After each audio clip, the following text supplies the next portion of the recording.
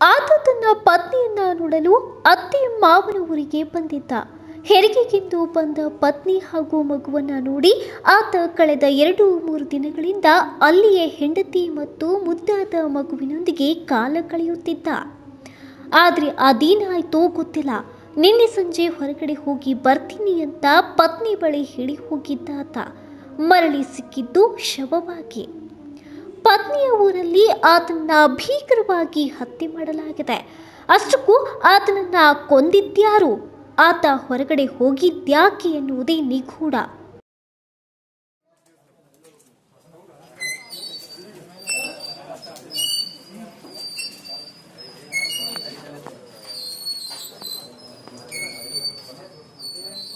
ತನ್ನ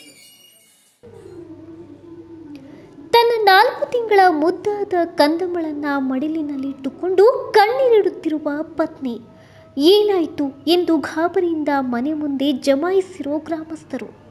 ಅತ್ತ ಕೊಲೆ ನಡೆದ ಸ್ಥಳದಲ್ಲಿ ಪೊಲೀಸರಿಂದ ತಲಾಶ್.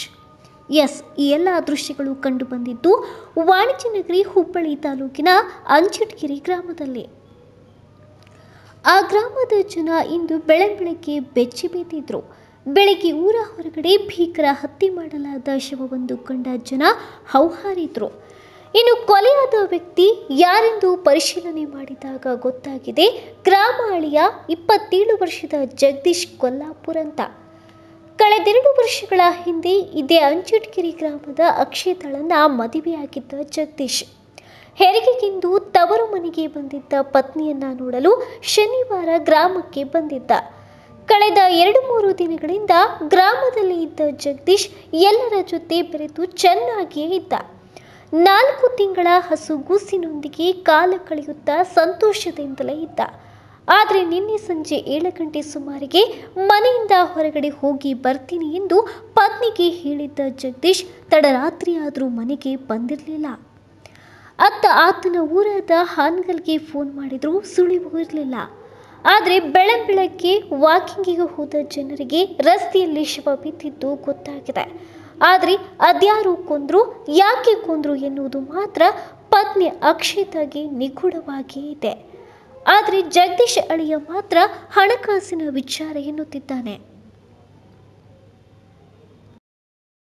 ಹೋಗಿದ್ದೆ ಹೇಳಿ ಹೇಳ್ಬೇಕೇನೋ ಅಂತಂದೈತೆ ಏಳು ಗಂಟೆ ಕಡೆ ಹೋಗಿದ್ವಿ ಏಳು ಗಂಟೆ ಸುಮಾರು ಹೋದವ್ರು ಹೊಳ್ಳಿ ಫೋನ್ ಸ್ವಿಚ್ ಆಫ್ ಐತ್ರಿ ಮನ್ಯಾಗ ಇಟ್ಟು ಹೋಗಿದ್ವಿ, ಇಲ್ಲೇ ಹೋಗ್ಬೇಕಂತ ಹೋಗಿದ್ರು.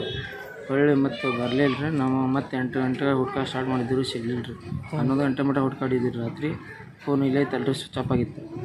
ಒಂದು ಹುಡುಕಿದ್ವಿ, ಸಿಗಲಿಲ್ಲ ಮತ್ತು ಊರು ಊರು ಬಂದಾಗ ಊರಿಗೆ ಫೋನ್ ಹಚ್ಚಿದ್ವಿ, ಅಲ್ಲಿ ಇಲ್ಲ ಅಂದ್ರಿ ಮತ್ತು ಬೆಳಗ್ಗೆ ಬೆಳಗ್ಗೆ ನೋಡೋ ಮಟ್ಟ ಅಂದ್ರೆ ಕೊನೆ ಮಾಡಿದ್ರು ಎಲ್ಲಿ? ಸಿ- ಏನು ಯಾರು ಎಲ್ಲಿ ಕರ್ಕೊಂಡು ಹೋಗಿದ್ರಿ? ಅರೆ ಯಾರು ಕರ್ಕೊಂಡು ಹೋಗಿದ್ರಿ? ಏನಿಲ್ಲ ಗೊತ್ತಿಲ್ಲ. ಒಬ್ರು ಹೋಗ್ಯಾರ ಇಲ್ಲಿಂದ. ಏನಂತ ಹೇಳಿದ್ರಿ? ಅರೆ ಏನಂತ ಹೇಳಿ ಹೋಗಿದ್ರಿ ಏನು ಇಲ್ಲೇ ಹೊರಗೆ ಆಡ ಅಂತ ಅಂತ ಹ್ಞೂ ಒಟ್ಟು ರಾತ್ರಿ ಬರಲೇ ರಾತ್ರಿ ಹೋಗ್ಯಾರ ಬೆಳಗ್ಗೆ ಮಟ್ಟ ಅಂದ್ರೆ ಅವ್ರು ಮಗ ಯಾರು ಅವ್ರು ಏನು ವ್ಯವಹಾರ ಇತ್ತು? ಗೊತ್ತಿಲ್ಲ. ಹ್ಞೂ ಯಾರು ವ್ಯವಹಾರ ನಮ್ಗೆ ಏನು ಹೇಳ್ತಿದ್ದಿಲ್ಲ. ಹ್ಞೂ ವ್ಯವಹಾರ ಏನು ಹೇಳ್ತಿದ್ದಿಲ್ಲ?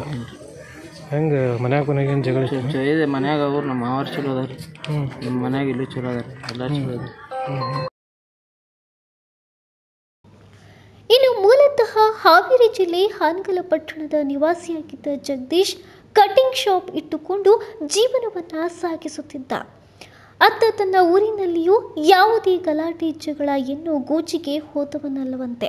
ಹೀಗಾಗಿ ಕಳೆದ ಶನಿವಾರ ತನ್ನ ಪತ್ನಿ ಹಾಗೂ ಮಗು ನೋಡಿಕೊಂಡು ಬರ್ತೀನಿ ಎಂದು ಪತ್ನಿ ಅವರಿಗೆ ಬಂದಿದ್ದಾನೆ. ಅಷ್ಟೇ ಎರಡು ಮೂರು ದಿನ ಕಳೆಯುತ್ತಿದ್ದಂತೆ ಶವವಾಗಿ ಸಿಕ್ಕಿದ್ದು ಕುಟುಂಬಸ್ಥರಿಗೆ ಬಡಸಿಡಿಲು ಬಡಿದಂತಾಗಿದೆ. ಆದರೆ ಧಾರವಾಡ ನಗರದಲ್ಲಿ ಹಣಕಾಸಿನ ವ್ಯವಹಾರವಿದೆ ಎನ್ನುವ ಸುಳಿವು ಸದ್ಯ ಅಳಿಯ ಹಾಗೂ ಪೊಲೀಸರಿಗೆ ಗೊತ್ತಾಗಿದೆ. ಮೊನ್ನೆಯಷ್ಟೇ ತನ್ನ ಅಳಿಯನ ಹತ್ತಿರ ಧಾರವಾಡದಲ್ಲೊಬ್ಬರು ತನಗೆ ದುಡ್ಡು ಕೊಡಬೇಕು ಎಂದು ಹೇಳಿದ್ದನಂತೆ. ಹೀಗಾಗಿ ಅದೇ ವಿಚಾರಕ್ಕೆ ಕೊಲೆಯಾಯ್ತಾ ಎನ್ನುವ ಅನುಮಾನ ಮೂಡುತ್ತಿದೆ. ಯಾಕಂದ್ರೆ ಇತ್ತ ಅಂಚಟಗೇರಿ ಗ್ರಾಮದಲ್ಲೂ ಆತನಿಗೆ ಯಾರು ದುಶ್ಮನಗಳಿರಲಿಲ್ಲ. ಹಣಕಾಸಿನ ವಿಚಾರವೇ ಹತ್ಯೆಗೆ ಕಾರಣವಾಗಿದೆಯಾ ಎನ್ನುವ ಪ್ರಶ್ನೆ ಸದ್ಯ ಕುಟುಂಬಸ್ಥರಲ್ಲಿ ಕಾಡುತ್ತಿದೆ. ಅಕ್ಷಿತನವ್ರದ್ದು ಎರಡು ವರ್ಷ ಮದುವೆ ಆಗಿದೆ ಅಣಗಲ್ಲಿಂದ ಹುಡುಗ. ಇಲ್ಲಿ ಅವರು ಡೆಲಿವರಿ ಬಂದಿದ್ದರು. ಈಗ ನಾಲ್ಕು ದಿನ ಮಗು ಐತಿ. ಆ ಮಗು ನೋಡಕ್ಕಂತ ಬಂದಿದ್ದಾರೆ ಅವರು. ಬಂದಿಂದ ಆಮೇಲೆ ರಾತ್ರಿಯಿಂದ ಕಾ ಏನು ಕಾಣ್ತಾ ಇಲ್ಲ. ಕಾಣಲಿಲ್ಲ ಅಂದರೆ ಬೆಳಗ್ಗೆಯಿಂದ ಮರ್ಡ್ರ್ ಆಗಿತ್ತು. ಅವರಿಗೆ ಅದಕ್ಕೆ ಸೂಕ್ತವಾಗಿ ಏನಾಗಿತ್ತು? ಯಾರು ಯಾರು ಮಾಡ್ರ? ಯಾರು ಇನ್ನೂ ರಿಲೇಷನ್ ಒಳಗೆ ಏನಿಲ್ಲ. ಯಾರು ಏನು ಮಾಡಿದ್ರೆ ಇನ್ನೂ ಗೊತ್ತಾಗಿಲ್ಲ. ಅದು ಆದಷ್ಟು ಬೇಗ ಆರೋಪಿನ ಅರೆಸ್ಟ್ ಮಾಡಬೇಕು. ಯಾರು ಬಂದು ಕರ್ಕೊಂಡು ಹೋಗಿದ್ರು ಏನು ಅದು ಗೊತ್ತಿಲ್ಲ ರೀ. ಅವ್ನ ಫೋನ್ ಮನೆಯಲ್ಲೇ ಐತೆ ರೀ ಹೆಂಗಿದ್ರಿ? ಈಗ ಗಂಡ ಐತಿ ಇಬ್ಬರು ಚಲೋ ಇದ್ದಾರೆ ಅವ್ರು ಪ್ರೀತಿಸ್ ಮದುವೆ ಆಗಿದ್ದಾರೆ. ಏನು ಕೆಲಸ ಮಾಡ್ತಿದ್ರು? ಅವ್ರು ಕಟಿಂಗ್ ಶಾಪ್ ಇದೆ ಶಾಪ್ ಐತಿ ಇಲ್ಲಿ ಮನೆಯೊಳಗೆ ಮನೆಯೊಳಗೆ ಏನು ಯಾರು ಏನು ಜಾಗ ಏನು ಯಾರ್ದು ಏನು ತೊಂದರೆ ಇಲ್ಲ. ಬಟ್ ಹೊರಗಿಂದ ಏನಾರ ವ್ಯವಹಾರ? ಹೊರಗಿಂದ ಇರ್ಬೋದು ರೀ. ನಿಮ್ಗೆ ಏನಾರ ಡೌಟ್ ಐತೆ ಯಾವುದು ಏನು ಡೌಟ್ ಇಲ್ಲ. ಹ್ಞೂ ಯಾರ ದೋಸ್ತರೊಳಗೆ ಅದು ಏನೇ ಗೊತ್ತಿಲ್ಲ ರೀ. ಅದನ್ನು ಪೊಲೀಸರು ಆದಷ್ಟು ಬೇಗ ತನಿಖೆ ಮಾಡಬೇಕು. ಸದ್ಯ ಪ್ರಕರಣವನ್ನ ದಾಖಲಿಸಿಕೊಂಡಿರೋ ಹುಬ್ಬಳ್ಳಿ ಗ್ರಾಮೀಣ ಪೊಲೀಸರು ಆರೋಪಿಗಳ ಪತ್ತೆಗೆ ಬಲೆ ಬೀಸಿದ್ದಾರೆ.